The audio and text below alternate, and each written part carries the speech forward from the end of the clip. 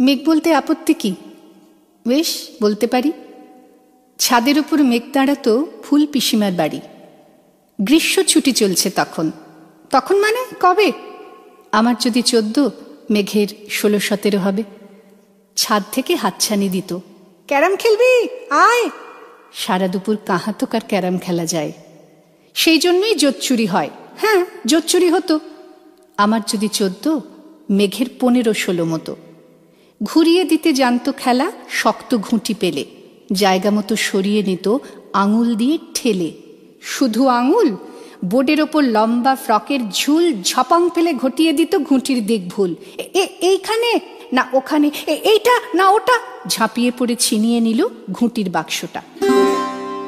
ঘুঁটিরও সেই প্রথম মরণ। প্রথম মরা মানে বুঝবে শুধু তারাই, যারা ক্যারাম খেলা জানে। চলেও গেল কদিন পরে। মেঘ যেমন যায়, কাঠফাটা রোদ দাঁড়িয়ে পড়ল মেঘের জায়গায়। খেলা শেখাও খেলা শেখাও, হাপিত্তেশ কাক। কলসিতে ঠোঁট ডুবিয়েছিল জল তো পুড়ে খাক। খা খাওয়া সেই কলসি আবার পরের বছর জলে ভরল কেমন তোমায়?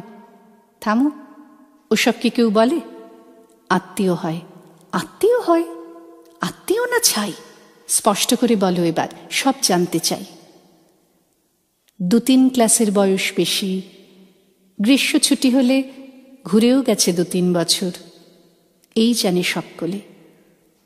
আজকে তথ্য গ্রীষ্ম আমার, তোমায় বলতে পারি।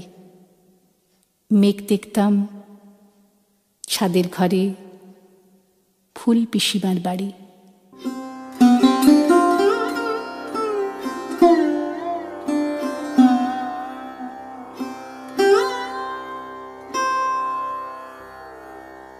Hmm.